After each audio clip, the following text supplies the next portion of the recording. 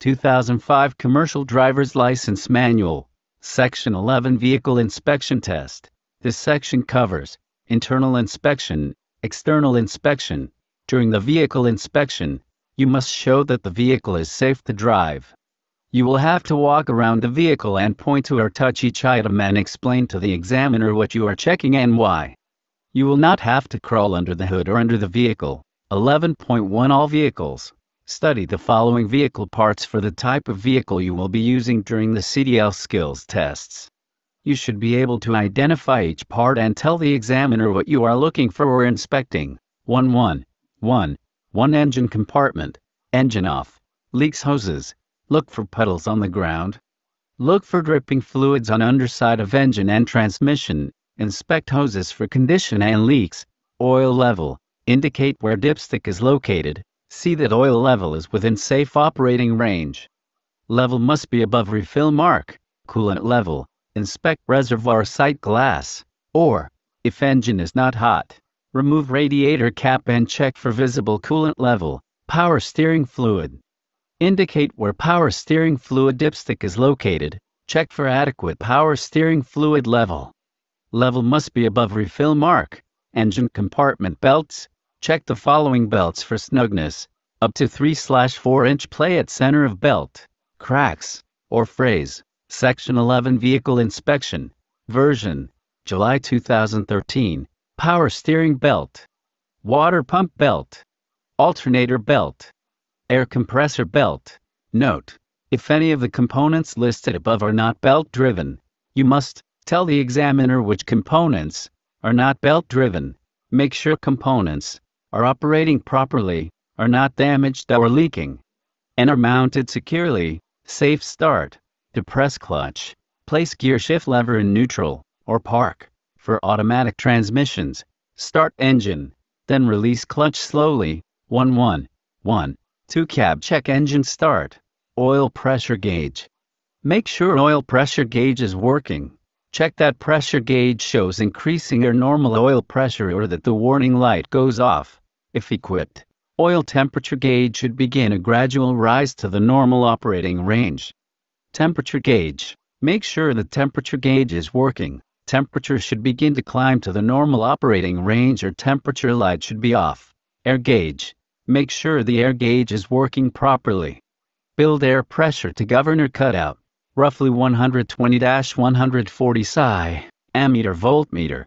Check that gauges show alternator and or generator is charging or that warning light is off. Mirrors and windshield. Mirrors should be clean and adjusted properly from the inside. Windshield should be clean with no illegal stickers, no obstructions, or damage to the glass. Page 11-1. 2005 Commercial Driver's License Manual. Emergency equipment. Check for spare electrical fuses. Check for three red reflective triangles. 6 fusees or 3 liquid burning flares. Check for a properly charged and rated fire extinguisher. Note, if the vehicle is not equipped with electrical fuses, you must mention this to the examiner. Wipers washers, check that wiper arms and blades are secure, not damaged, and operate smoothly, if equipped. Windshield washers must operate correctly, lights reflectors reflector tape condition, sides and rear. Test that dash indicators work when corresponding lights are turned on. Left turn signal. Right turn signal. Four-way emergency flashers. High beam headlight. Anti-lock braking system. ABS. Indicator. Check that all external lights and reflective equipment are clean and functional.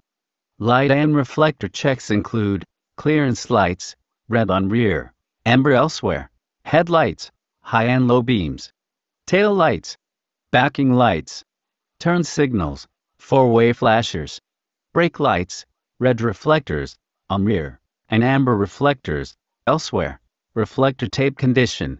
Note, checks of brake, turn signal and four-way flasher functions must be done separately. Horn, check that air horn and or electric horn work. Heater defroster, test that the heater and defroster work. Section 11 Vehicle Inspection, version July 2013, parking brake check, with the parking brake engaged. Trailer brakes released on combination vehicles, Check that the parking brake will hold vehicle by gently trying to pull forward with parking brake on, with the parking brake released and the trailer parking brake engaged. Combination vehicles only. Check that the trailer parking brake will hold vehicle by gently trying to pull forward with the trailer parking brake on. Hydraulic brake check. Pump the brake pedal three times, then hold it down for 5 seconds. The brake pedal should not move. Depress during the 5 seconds. If equipped with the hydraulic brake reserve, backup system, with the key off, depress the brake pedal and listen for the sound of the reserve system electric motor. Check that the warning buzzer light is off. Air brake check.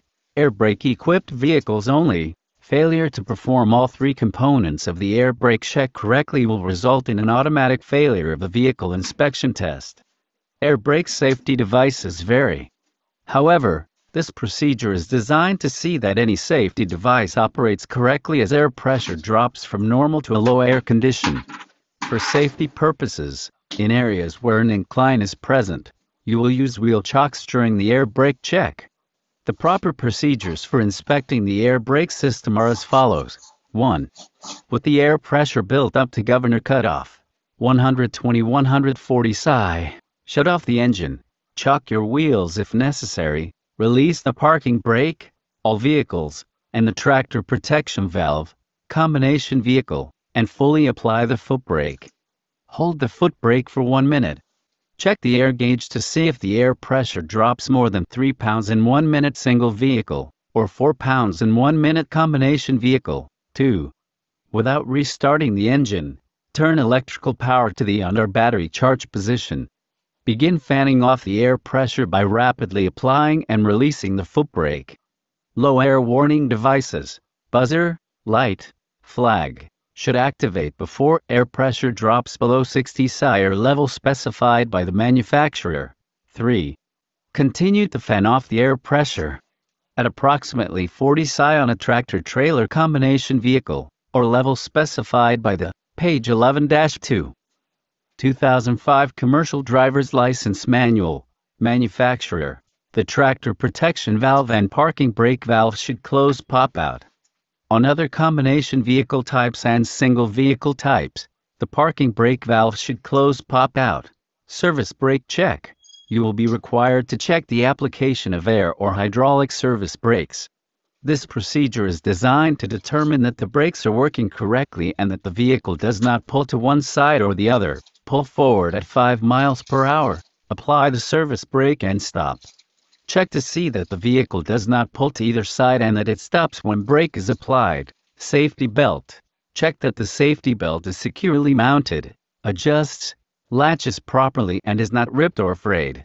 11.2 External inspection. All vehicles. 1 1. 2. 1 Steering. Steering box hoses. Check that the steering box is securely mounted and not leaking. Look for any missing nuts, bolts, and cotter keys. Check for power steering fluid leaks or damage to power steering hoses, steering linkage. See that connecting links, arms, and rods from the steering box to the wheel are not worn or cracked.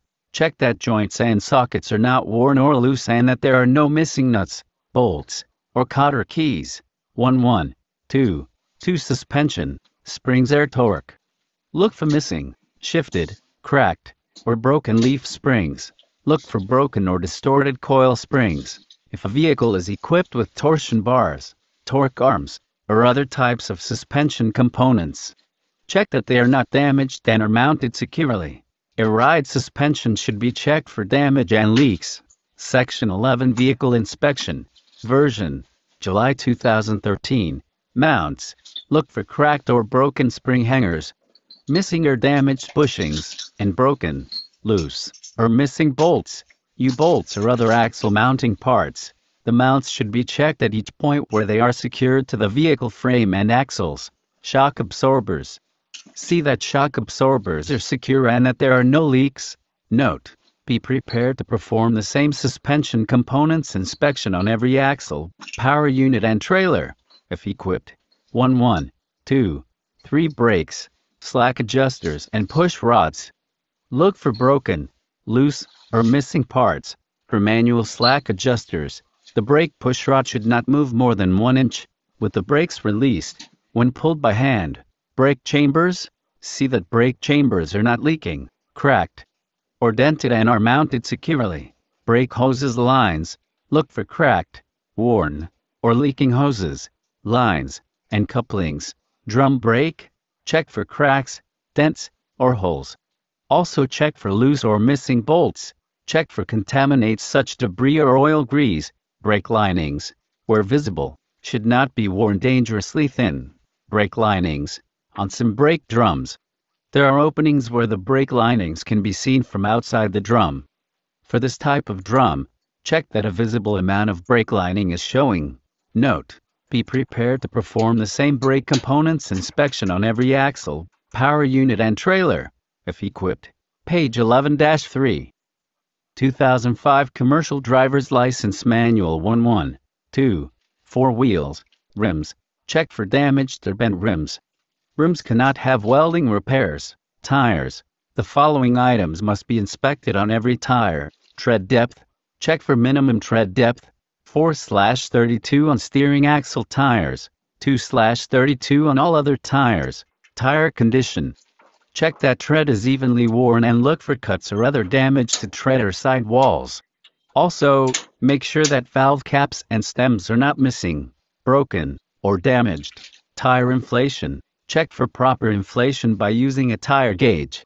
Note, you will not get credit if you simply kick the tires to check for proper inflation. Hub oil seals axle seals. See that hub oil grease seals and axle seals are not leaking and, if wheel has a sight glass, oil level is adequate. Lug nuts. Check that all lug nuts are present, free of cracks and distortions, and show no signs of looseness such as rust trails or shiny threads. Make sure all bolt holes are not cracked or distorted. Spacers or Budd spacing. If equipped, check that spacers are not bent, damaged, or rusted through. Spacers should be evenly centered, with the dual wheels and tires evenly separated. Note, be prepared to perform the same wheel inspection on every axle, power unit and trailer, if equipped. 1 1, 2, 5 side of vehicle, doors, mirrors, check the doors, are not damaged and that they open and close properly from the outside. Hinges should be secure with seals intact. Section 11. Vehicle Inspection, version, July 2013. Check that mirrors, and mirror brackets are not damaged and are mounted securely with no loose fittings. Fuel tank. Check that tanks are secure, caps are tight, and that there are no leaks from tanks or lines. Drive shaft. See that drive shaft is not bent or cracked. Couplings should be secure and free of foreign objects. Exhaust system. Check system for damage and signs of leaks such as rust or carbon soot. System should be connected tightly and mounted securely. Frame. Look for cracks, broken welds, holes or other damage to the longitudinal frame members, cross members, box, and floor. 1 1, 2, 6 rear vehicle, splash guards. If equipped, check that splash guards or mud flaps are not damaged and are mounted securely. Doors ties lifts, check that doors and hinges are not damaged and that they open, close, and latch properly from the outside, if equipped. Ties, straps, chains, and binders must also be secure. If equipped with a cargo lift, look for leaking, damaged or missing parts and explain how it should be checked for correct operation. Lift must be fully retracted and latched securely. 1 1, 2, 7 Tractor coupling, air electric lines. Listen for air leaks. Check that air hoses and electrical lines are not cut, chafed, spliced, or worn. Steel braid should not show through. Make sure air and electrical lines are not tangled, pinched, or dragging against tractor parts. Page 11-4. 2005 Commercial Driver's License Manual. Catwalk Steps. Check that the catwalk is solid, clear of objects, and securely bolted to tractor frame. Check that steps leading to the cab entry and catwalk, if equipped are solid, clear of objects, and securely bolted to tractor frame. Mounting bolts. Look for loose or missing mounting brackets, clamps, bolts, or nuts. Both the fifth wheel and the slide mounting must be solidly attached. On other types of coupling systems, that is, ball hitch, pintle hook, etc., inspect all coupling components and mounting brackets for missing or broken parts. Hitch release lever, check to see that the hitch release lever is in place and is secure. Locking jaws, look in the fifth wheel gap and check that locking jaws are fully closed around the kingpin. On other types of coupling systems, that is, ball hitch, pintle hook, etc., inspect the locking mechanism for missing or broken parts and make sure it is locked securely. If present, safety cables or chains must be secure and free of kinks and excessive slack. Fifth wheel skid plate. Check for proper lubrication and that fifth wheel skid plate is securely mounted to the platform and that all bolts and pins are secure and not missing. Platform. Fifth wheel. Check for cracks or breaks in the platform structure which supports the fifth wheel skid plate. Release arm. Fifth wheel. If equipped. Make sure the release arm is in the engaged position and the safety latch is in place. Kink Kingpin apron gap. Check that the kingpin is not bent. Make sure the visible part of the apron is not bent, cracked, or broken. Check that the trailer is lying flat on the fifth wheel skid plate. No gap. Section 11. Vehicle Inspection. Version.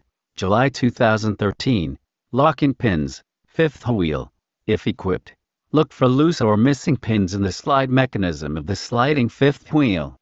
If air powered. Check for leaks. Make sure locking pins are fully engaged. Check that the fifth wheel is positioned properly so that the tractor frame will clear the landing gear during turns. Sliding pintle. Check that the sliding pintle is secured with no loose or missing nuts or bolts and cotter pin is in place. Tongue or draw bar. Check that the tongue draw bar is not bent or twisted and checks for broken walls and stress cracks. Check that the tongue draw bar is not worn excessively. Tongue storage area. Check that the storage area is solid and secured to the tongue. Check that cargo in the storage area that has chains, binders, etc., are secure. 11.3 School bus only emergency equipment, in addition to checking for spare electrical fuses, if equipped. 3 red reflective triangles, and a properly charged and rated fire extinguisher. School bus drivers must also inspect the following emergency equipment emergency kit body fluid cleanup kit, lighting indicators, in addition to checking the lighting indicators listed in Section 10.2 of this manual. School bus drivers must also check the following lighting indicators internal panel lights, alternately flashing amber lights indicator, if equipped, alternately flashing red lights indicator, strobe light indicator, if equipped. Page 11 5. 2005 Commercial Driver's License Manual Lights Reflectors. In addition to checking the lights and reflective devices listed in Section 10.2 of this manual, school bus drivers must also check the following external lights and reflectors, strobe light, if equipped, stop arm light, if equipped, alternately flashing amber lights, if equipped, alternately flashing red lights, student mirrors, in addition to checking the external mirrors. School bus drivers must also check the internal and external mirrors used for observing students. Check for proper adjustment. Checks that all internal and external mirrors and mirror brackets are not damaged and are mounted securely with no loose fittings. Checks that visibility is not impaired due to dirty mirrors. Stop arm, if equipped. Check the stop arm to see that it is mounted securely to the frame of the vehicle. Also, check for loose fittings and damage. Passenger entry lift. Check that the entry door is not damaged, operates smoothly, and closes securely from the inside.